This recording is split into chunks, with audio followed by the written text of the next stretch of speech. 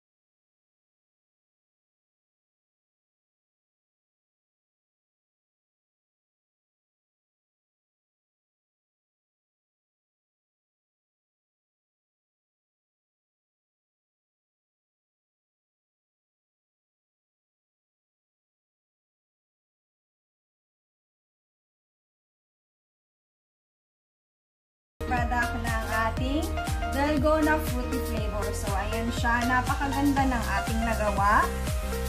So, napaka-colorful, napaka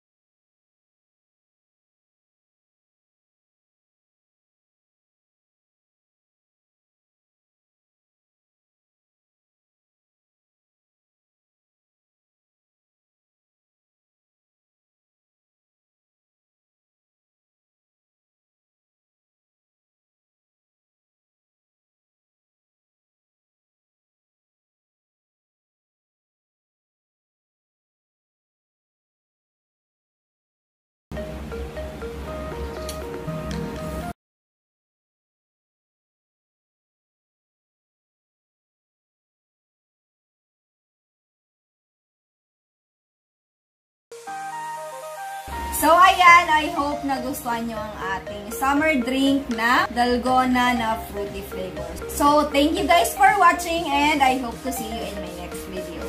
See ya! Bye-bye!